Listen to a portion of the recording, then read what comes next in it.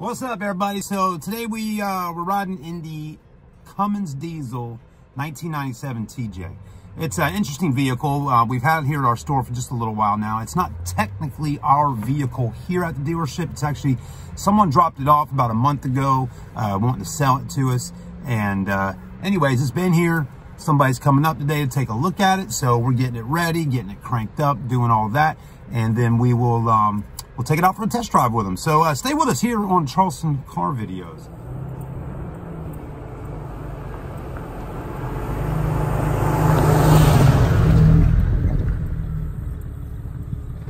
What's up, everybody? Today we're to take a quick look at a Cummins diesel. Jeep Wrangler TJ. Man, this is something you just don't get to see every day. We're to get some quick shots of it right here at our dealership, Rodgers Wranglers. This actual Jeep here is not ours yet. We're looking at actually possibly purchasing it from a guy here in the Charleston area. But uh, anyways, we're gonna take a look at it. It's not every day you get to see a Jeep like this, again, with a turbo diesel. Wow. So, you know, we definitely got a bunch of Jeeps here at Rodgers Wranglers. I mean, we're talking over 50 to 75 Wranglers at the store. Each one sometimes is a little more unique than others, but this one right here, hopefully we'll get it. This is definitely a unique Jeep. It's 2004 Jeep Wrangler TJ. First off, I love the color on it. It's different. It's cool. You know, we see a lot of black TJs, a lot of white silvers and stuff like that, but this is kind of like a, a grayish color, which I really like. Um, it does got some nice upgrades on it. First off, you're getting your uh, steel front and rear bumpers. You got your Warn winch up there, which is definitely a really nice high-end winch on the front. Also, it's got the LED headlights. I like the cleared out uh, blinker lights right there. Also getting your rough country lift kit and uh, just the motor and everything is uh, is definitely a, a, lot of work in itself and a lot of money just to be able to do something like that. Um, I do like the style of those lights right there on the bottom of the windshield. You know, a lot of people have just your regular LED, the kind of square ones. Uh, those are a little different. They're bigger and, uh, and they look good on there. They really do. Also, these little, I, I guess you would call them maybe bump stops. Uh, those are a little bit different. You don't see uh, see them like that all the time, so that looks nice.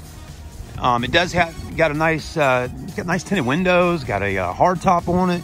But again, the paint looks great, really does. The rock sliders, I like the side step right there.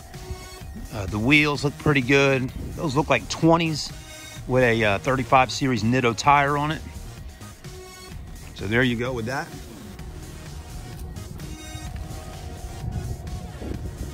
You know, I kind of like it without a uh, tire on the back.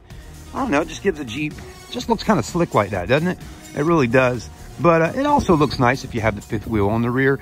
Um, those are nice looking rims and tires. They really kind of set things off a little bit on this particular Jeep Wrangler.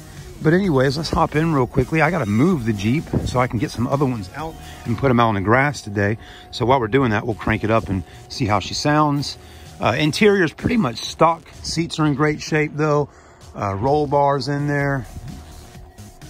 Um, it's got a boost gauge there and all that kind of stuff. Because again, you got that turbo diesel.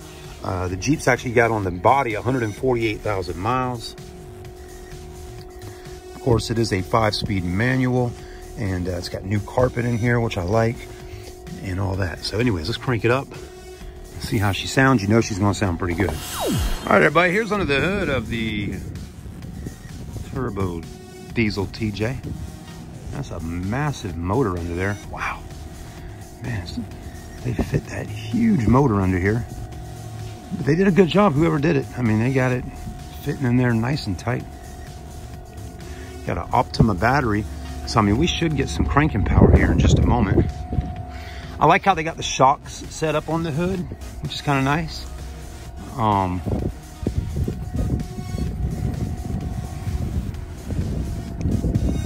I definitely would like to hear it running. Let's see if we can get this big boy running. You know, the original engine that comes in here is a 4.0 straight six, which a lot of people love. But uh, anyways, Wow, freaking we. It's a big old motor. All right, let's crank her up. Put on the clutch. See what we got.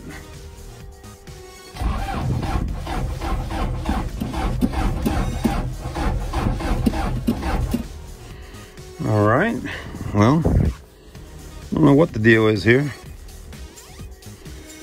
I know it's a diesel and all, but I've done everything I'm supposed to do. Should just crank right up. There we go. And give that puppy a minute to uh, warm up. This is really uh, short throw. Anyways, let me uh, shut my hood down and we'll, well, let's go up there and take a look at the motor. All right.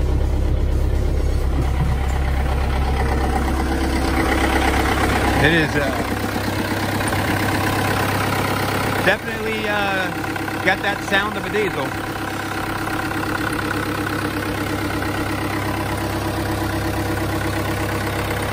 Wow, wait.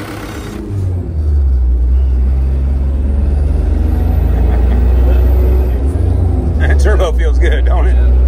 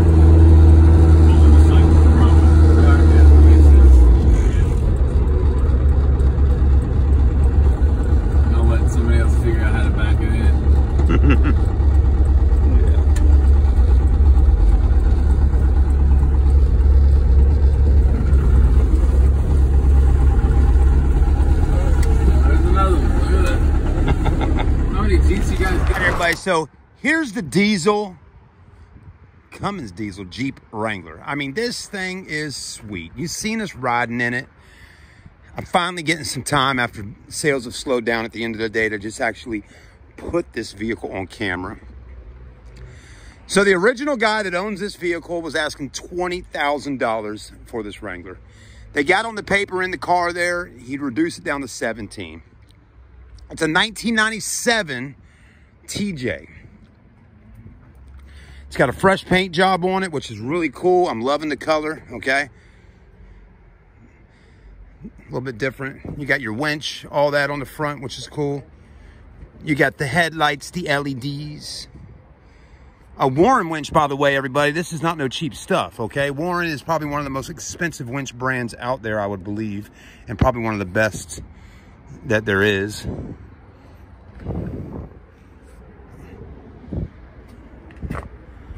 It does have a set of 20 inch wheels. A little bit different Nitto tire, but hey, Nittos are great. Those are your grappler tires with the 20s. Suspension, lift. Looks like you got your stock factory front fenders, your rails, your step. These are actually reflective, if you can see that, which is kind of cool. Um, it's got these, that. We're actually closing right now, so I'm gonna have to move quickly, but tinted windows all the way around, hard top. And again, guys and girls, if you want to see an in-depth review of this, we definitely will be doing that here shortly on the channel. It doesn't have the fifth wheel, okay? He may have the fifth wheel at the house, but anyways, steel front and rear bumpers, all that goodies. Interior is pretty much kind of just plain Jane stock. The whole gig with this right here is the motor, okay? That's what it's all about. It's the diesel engine. It does got some nice thick carpeting in here, okay? Just not your traditional. It's nice and thick. It's to keep it a little bit, uh, it's to kind of help with the, the heat that's to come up from under there. Rubber mats, seats, your dash. It's got those pods up there.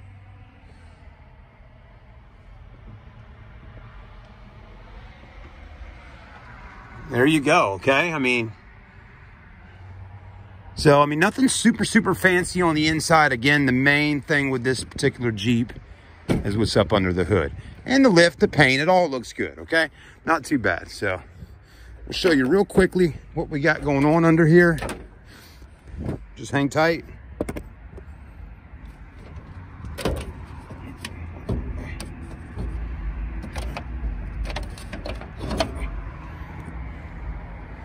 This is a four cylinder diesel turbo.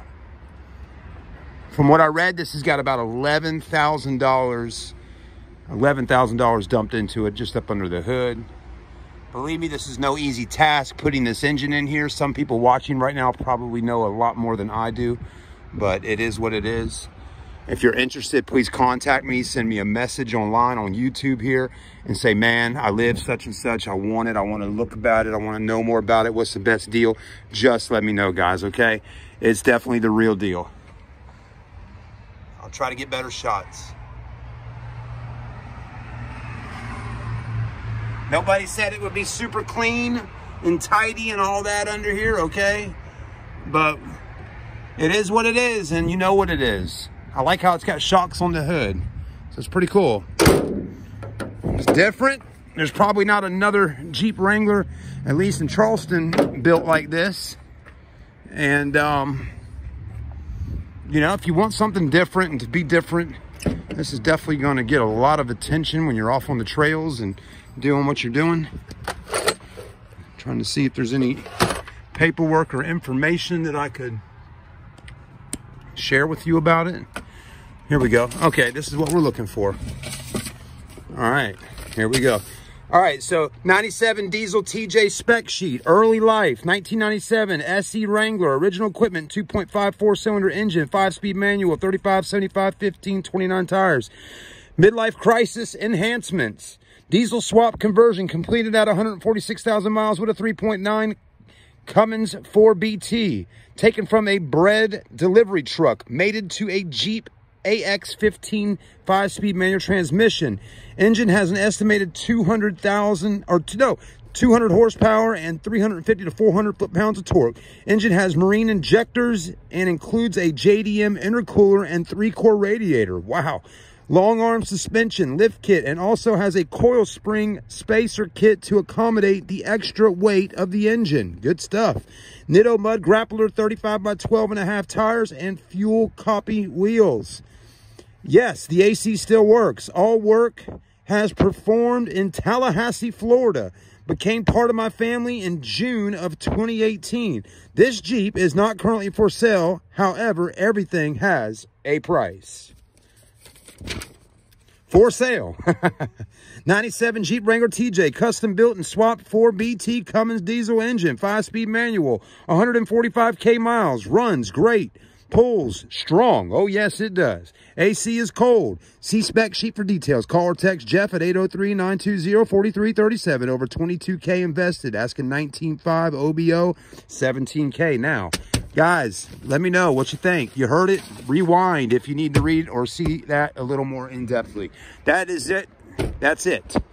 Guys, let me know. This is a one-of-a-kind Jeep. My name's Chad at Rodgers Wranglers. We have the most Jeep Wranglers for sale in the Carolinas. And let me tell you, there's a reason why Jeff brought this here. He knew that we would be the ones to help him move it.